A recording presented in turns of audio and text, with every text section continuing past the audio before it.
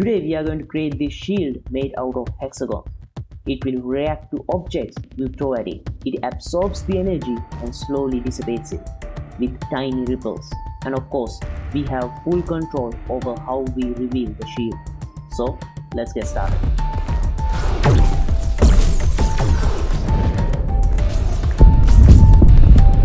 I am currently in Blender 4.0 beta. You can use Blender 3.6 as well to achieve this effect.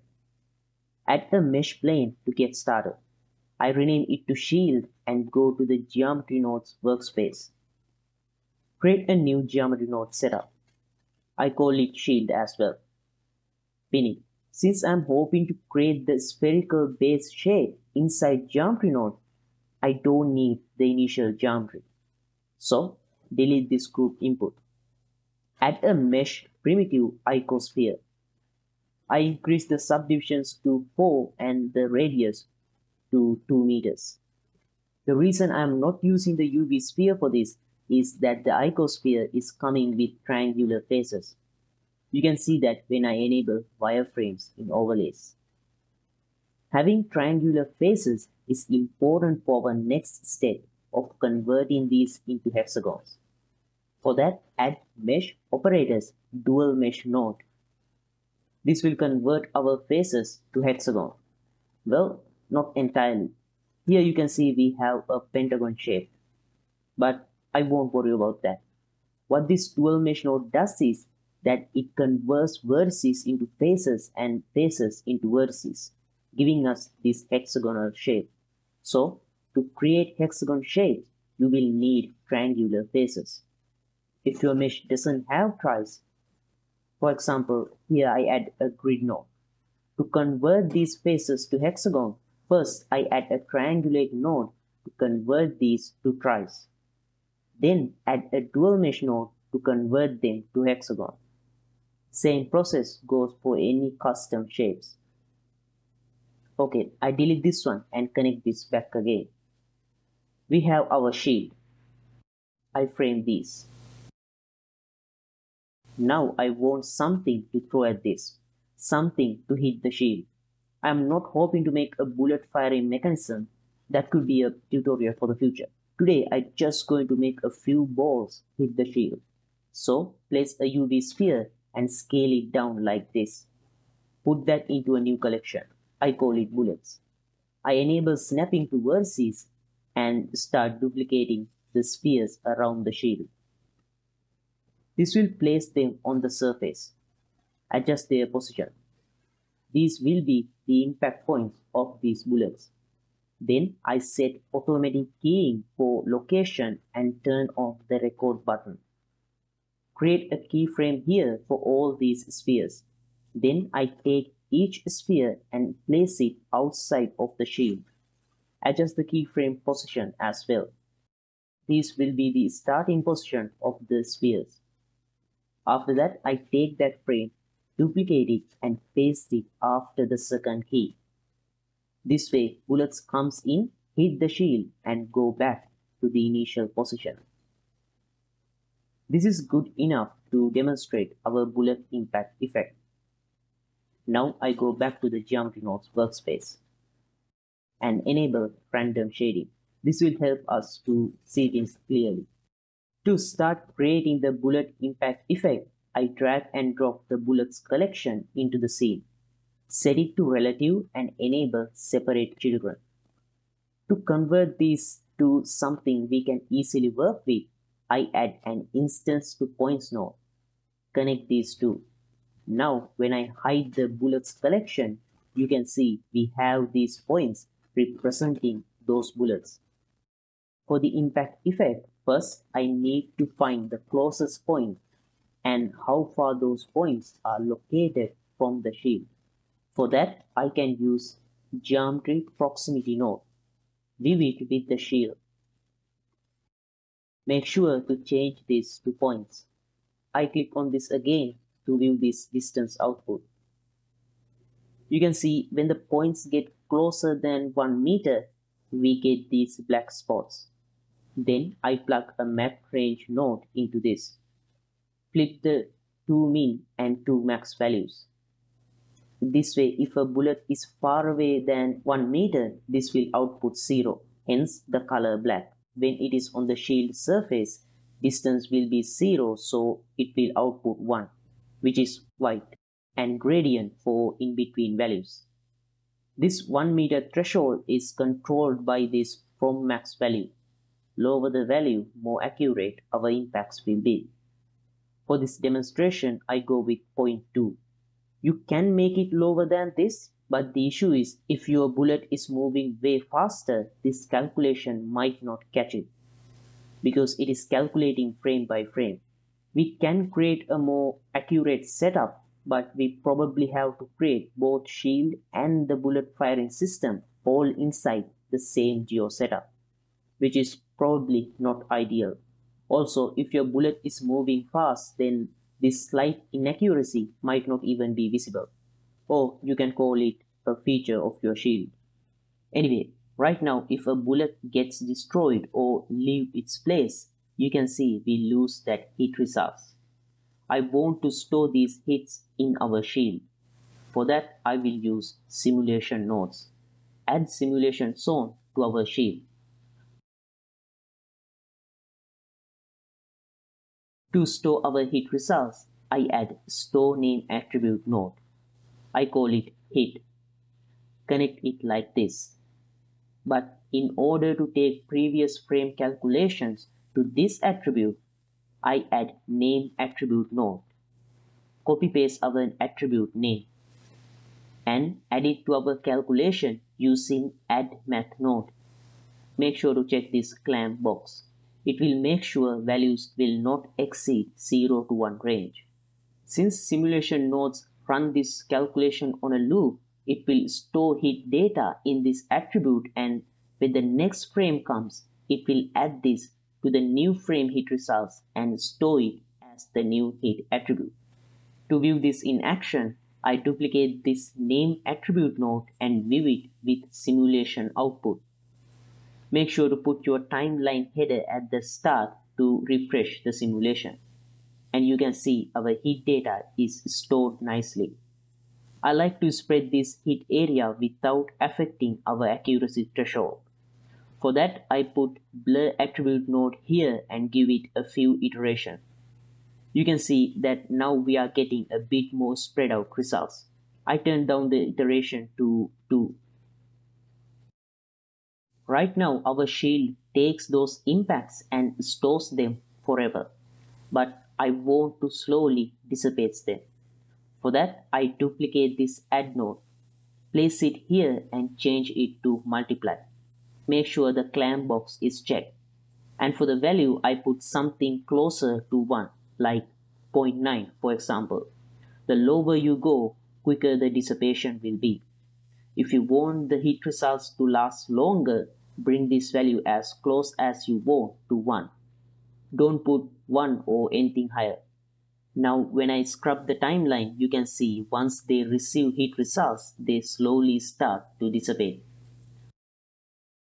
But since we started with hexagonal shapes, I like to see our shapes in these calculations as well. Right now they are calculating based on points or vertices. That's why you see these triangulated results. So I change this store attribute domain type to face.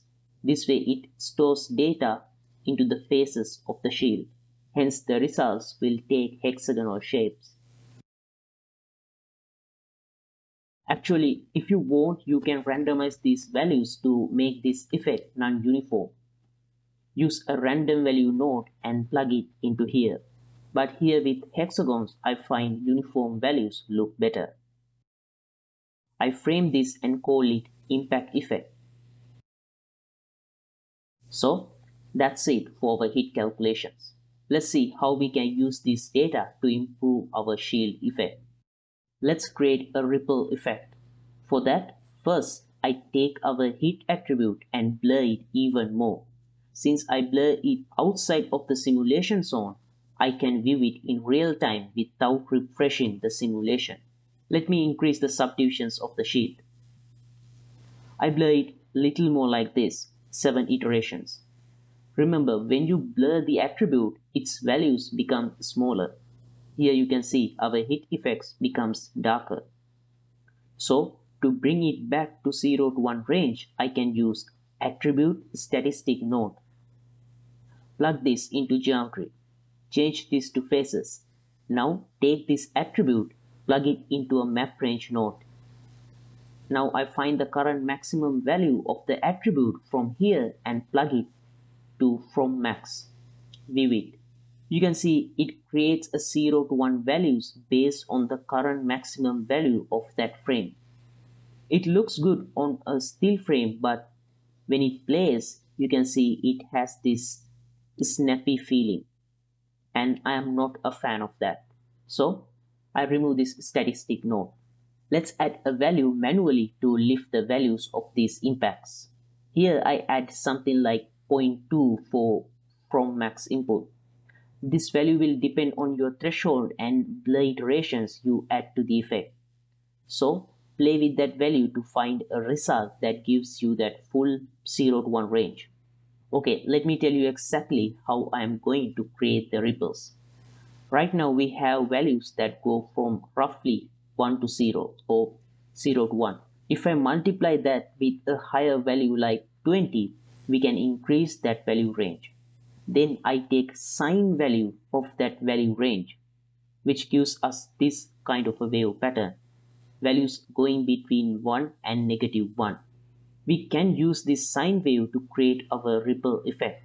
At the moment, it goes from 0 to 1, back to 0, and then to negative 1 and comes back to 0 like that. But if I take those negative values and turn them into positive values, we can get something like this. And after that, we can smooth out these rough corners. There are so many ways to make this wave pattern. Another way is taking this wave pattern and remapping it to simply go between the 0 to 1 range. Starting with 0.5 the minimum value becomes 0 so let's use one of these methods to create the ripple effect.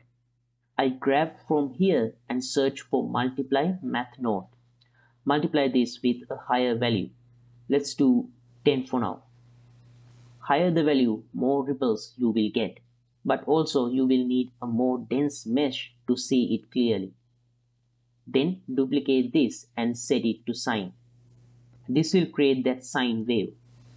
Now to convert negative values to positive values, duplicate this again and this time choose absolute. To smooth out the rough corners, I plug a float curve node and adjust it like this. It is not quite visible in this example. To see it clearly, you will have to increase the face count and the blur amount.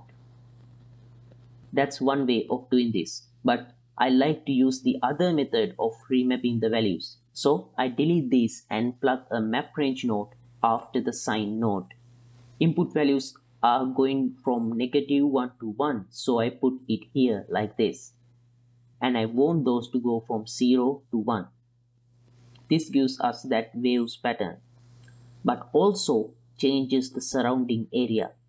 So I will multiply this with our previous 0 to 1 heat results and get something like this. But I want this to be very subtle and I am not a big fan of tiny hexagon shapes. So I go back to the previous subdivision and blur values. So this is our ripple effect.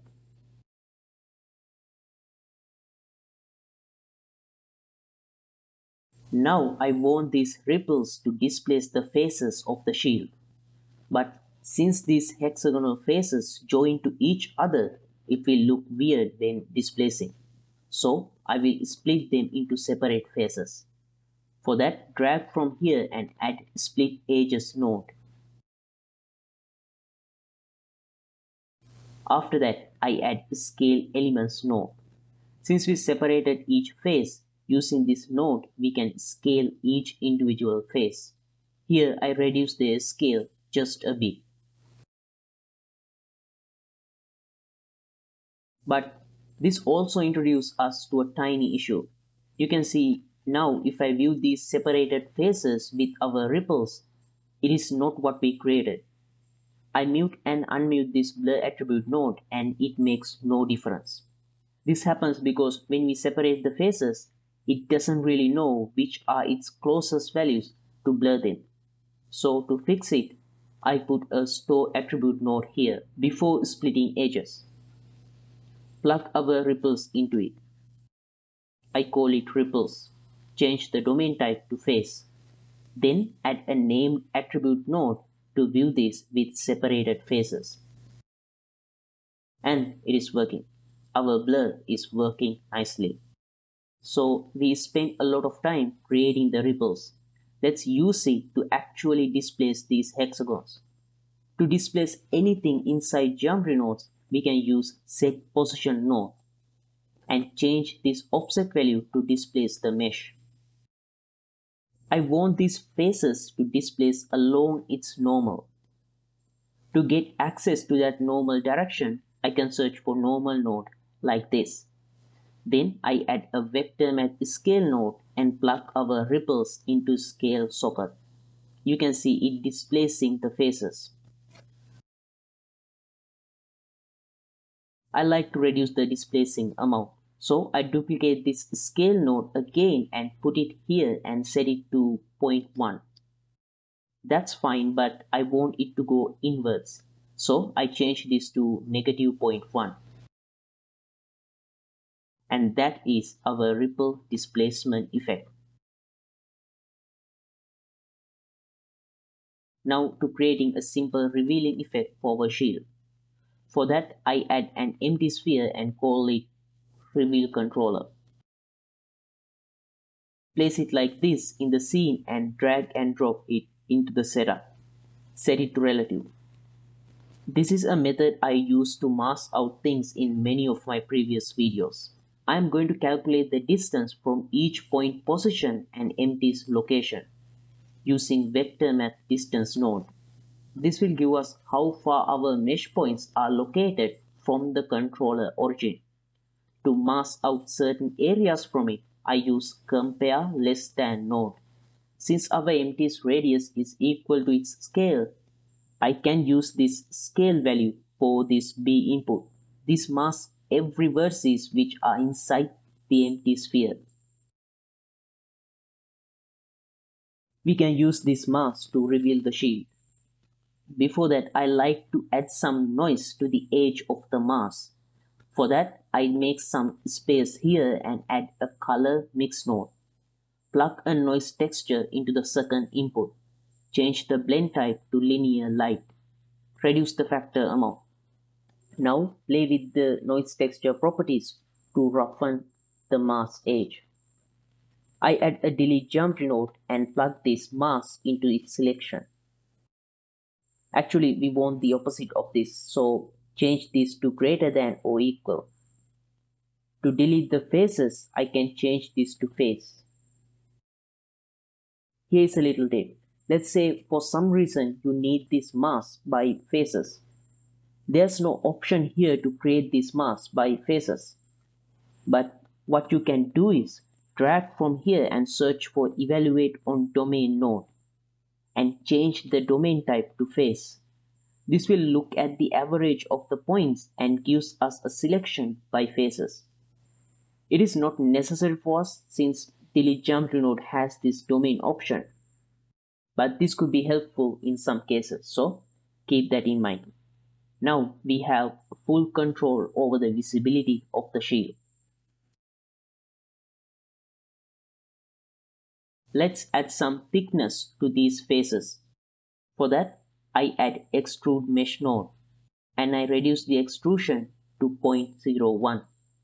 In most cases, you might have to disable this individual checkbox.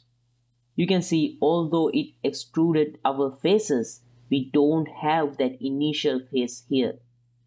So to fill this hole, I select this node. Hold Ctrl and Shift and drag to the previous geometry to make a join geometry node. This will add that face back in. This also means we have some overlapping vertices from both meshes.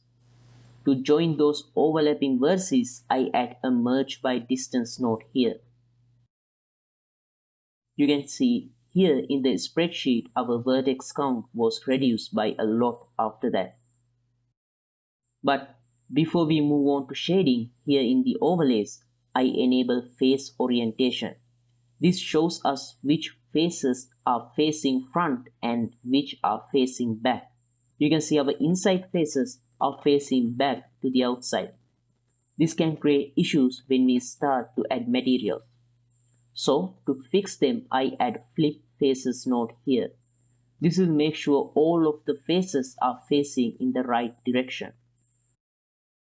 And that's our geo setup for creating this impact reacting shield.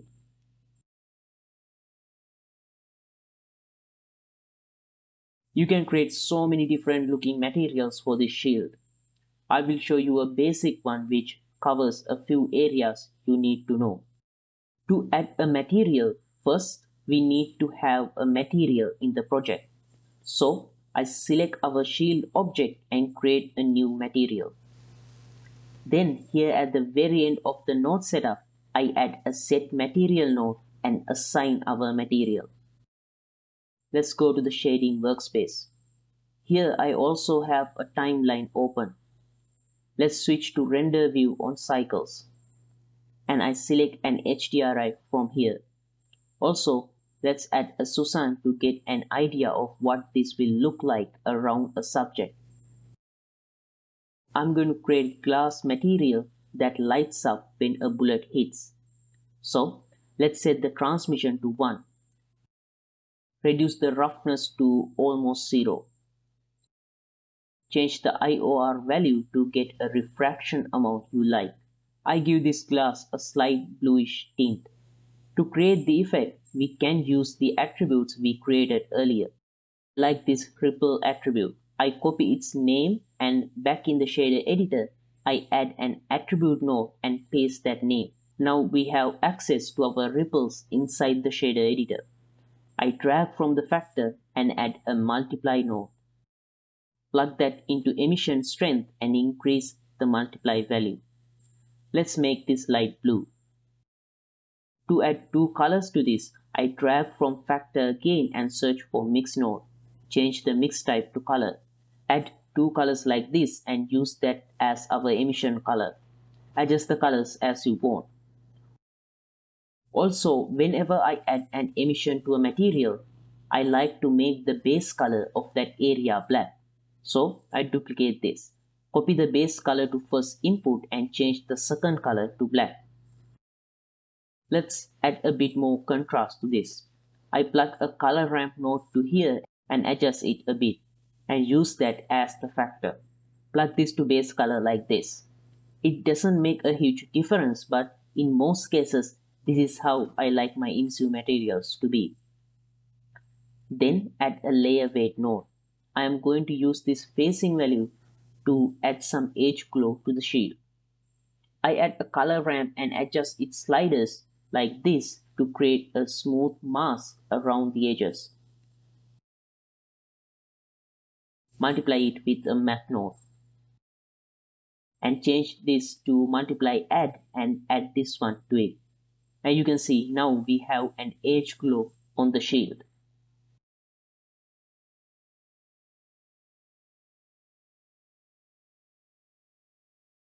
Let's switch to Eevee to see how it looks inside it.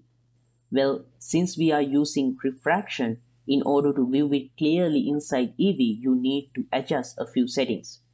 Go to your materials and under material settings, enable screen space refraction. Also enable refraction from render settings. And now we have refraction in Eevee. And you can see it looks very different to cycles. Well, you can adjust the material values differently for each render engine if you want. To do it without creating two materials, just duplicate all this setup like this. Change this one to Eevee and the first one to cycles. Now you can change some values here and it will only affect for Eevee. To see it clearly, I changed the emissive color and You can see when we switch between render engines, we get those different material values. Now I can animate the shield revealer location and scale to create the revealing effect.